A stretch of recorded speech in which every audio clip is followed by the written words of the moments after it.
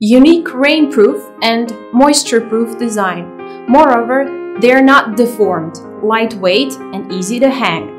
These interesting and magical wind chimes keep you in a good mood. You can hang them anywhere. They can be placed indoors and outdoors.